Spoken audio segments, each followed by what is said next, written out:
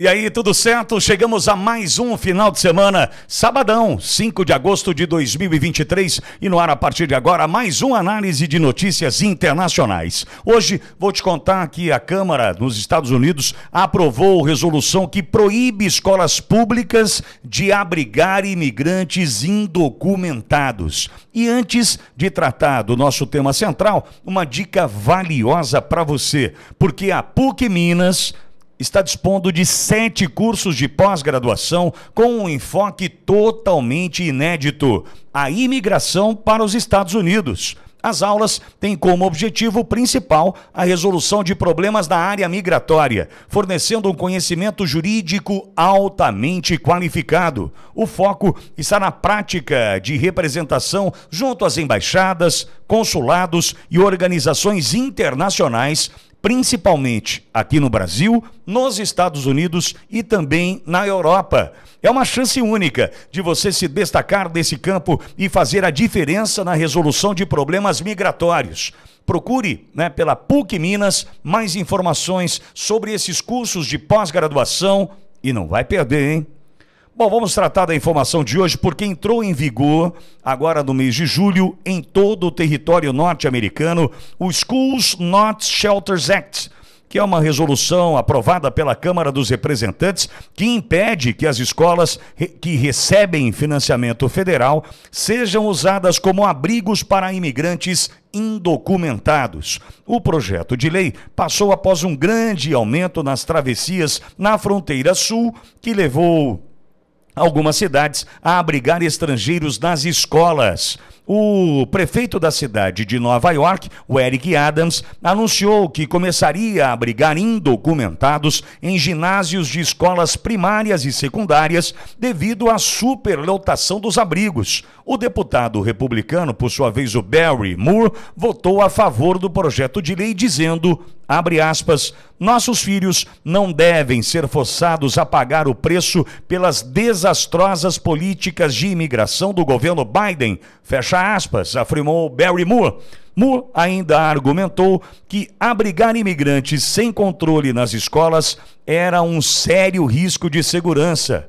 A HR 3941 foi aprovada um dia depois que o Washington Times informou que o governo federal libertou cerca de 2.500 crianças imigrantes com infecções latentes de tuberculose nos Estados Unidos no ano passado, numa denúncia gravíssima trazida pelo Washington Times. Repito, o governo federal norte-americano liberou ano passado cerca de 2.500 crianças imigrantes com infecções latentes de tuberculose e agora tem esse movimento da HR 3941 que proíbe né, o, que indocumentados sejam colocados em espaços, quadras de escolas primárias e secundárias que recebam financiamento público do governo norte-americano. O que nós estamos vivendo hoje, nitidamente, é uma crise. Crise quando nós tivemos Trump, que tentou resolver, tentou endurecer as regras, temos hoje Ron DeSantis na Flórida, mostrando que há disposição do americano, que já entendeu o tamanho do problema, de conviver com regras mais duras, em especial para quem não tem status, para especial para os indocumentados, para quem teoricamente não tem que estar ali. E ao mesmo tempo, nós acompanhamos a política migratória de Joe Biden tentando acenar para esse público que quer leis mais rigorosas, ao mesmo tempo para aqueles que querem uma frouxidão só, lembrando de notícias já veiculadas aqui, por exemplo, relacionadas àqueles que, sem status, permanecem nos Estados Unidos, a exemplo de sequestradores do dia 11 de setembro de 2001. É um problema. Agora, Joe Biden tem disposição de enfrentar de fato esse problema? está disposto a enfrentar, inclusive o seu eleitorado, que bate palmas para isso? Ou sabe que tem dificuldades para lidar com o tema e Trump, né, mesmo falando de muro, Ron DeSantis falando da 1718 na Flórida, a lei da imigração que entrou em vigor dia 1 de julho, enfim, tem mais condição de falar sobre o tema. Agora, com relação às crianças encontradas né, ou libertadas com tuberculose nos Estados Unidos. Só uma pergunta que faço aqui no Brasil, quando a gente se depara com situações como a de presos inocentes, pessoas que estão sofrendo a falta dos direitos humanos aqui no Brasil, eu transfiro essa mesma situação para os Estados Unidos. Onde estão os direitos humanos? Onde estão aqueles que lutam pelas crianças dos Estados Unidos?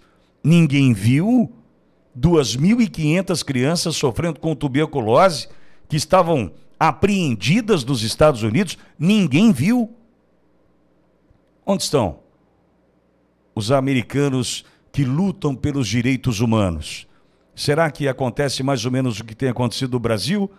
Se você dependendo da cor que você usa, você tem a proteção, você é um abnegado, você realmente é um daqueles protegidos. Agora, dependendo da cor da camiseta que você usa, né, é prisão de inocente, é tornozeleira para quem não tem que usar, tudo que a gente vem acompanhando no Brasil. Olha, fico alerta para o pessoal dos direitos humanos, hein? O que acontece por aqui também está acontecendo nos Estados Unidos? Será que era melhor trabalhar pelos direitos humanos como um todo? Ou vão escolher cor de bandeira também por lá? 2.500 crianças com tuberculose é algo para a gente realmente questionar a ação dos direitos humanos, hein? Agora, com relação à política migratória de Biden, se vai confrontar, se não vai, se vai lutar ou se não vai, tire as suas conclusões. Caminha para o último ano de governo e, de verdade, até aqui, nada fez. Este é o Análise de Notícias Internacionais. A gente volta amanhã. Obrigado pela sua audiência. Até lá.